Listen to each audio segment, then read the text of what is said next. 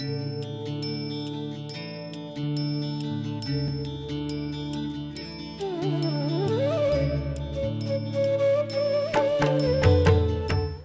ராசி நேயர்களே இந்த சிம்ம ராசி பொறுத்தளவு ஆணி மாதத்திற்கு பலன்களாக ஜூன் பதினாறாம் தேதியிலிருந்து ஜூலை பதினாறாம் தேதி வரைக்கும் இருக்கக்கூடிய இடைப்பட்ட நாட்களை பற்றி சொல்லுகிற போது மிக பிரமாதமாக நன்மைகளை பெற்றுக்கொள்ளுகிற வெற்றி வகை சூடிக்கொள்ளுகிற பெருமிதப்படுத்திக் கொள்ளுகின்ற நினைத்ததை நடத்தி காட்டிக்கொள்ளுகின்ற சந்தர்ப்பத்தை தன் வயப்படுத்தி கொண்டு வெற்றி பெறுகின்ற அத்தனை ஆற்றலும் உங்களுக்கு உள் புகுந்து கொண்டு விளையாடுகிற நேரம்.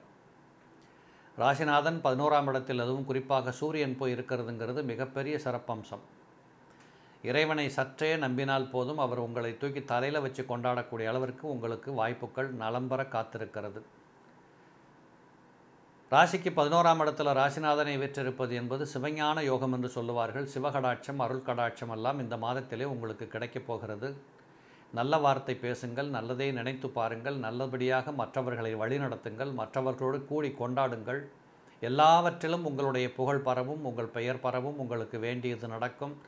இப்படிப்பட்ட சகல விதத்திலும் உங்கள் வாழ்க்கை ஒரு பிரகாசத்தை கொடுக்கக்கூடியதாக இந்த மாதம் அமைகிற காட்சிகள் உண்டு. ஐந்தாம் பாவாதிபதி நான்காம் இடத்தில் இருக்கிற காரணத்தினால கிட்டத்தட்ட பிள்ளைகளின் மூலமாக பெருமிதம் பெற்றுக்கொள்ளக்கூடிய வாய்ப்புகள் இருக்குது நீண்ட நாட்களாக காத்திருந்த சம்பவங்கள் எல்லாம் பிள்ளைகளின் மூலமாக பெற்றோர்களுக்கு மகிழ்ச்சியை கொடுக்கக்கூடிய வாய்ப்பாக அமைகிறது.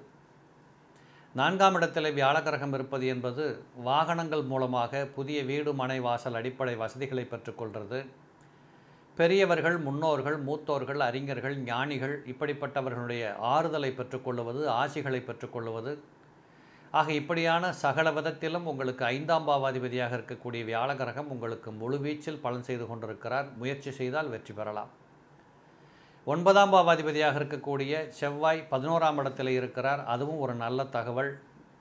பதினோராம் இடத்தில் இருக்கக்கூடிய அசுப கிரகங்கள் கூட நல்ல காரியங்களை செய்து கொடுக்கும் என்று சொல்லுகின்ற அடிப்படையிலே இதைத்தான் வசுமதி யோகம் உபஜய யோகம்னு சொல்கிறது உண்டு நாங்கள் அந்த அடிப்படையில் உங்களுக்கு நிறைய லாபங்கள் பெற்றுக்கொள்ளுகின்ற வராத பணத்தை வரவு வைத்து கொள்ளுகின்ற எதிர்பார்த்ததை விட பத்து ரூபா அதிகமாக சம்பாதிச்சோம் சந்தோஷமாக இருக்குது இப்படின்னு நீங்களே மனதார ஒத்துக்கொள்ளுகின்ற உணர்கின்ற இப்படிப்பட்ட வாய்ப்புகள் எல்லாம் உங்களுக்கு இந்த மாதத்தில் அற்புதமாக காத்து கொண்டிருக்கிறது.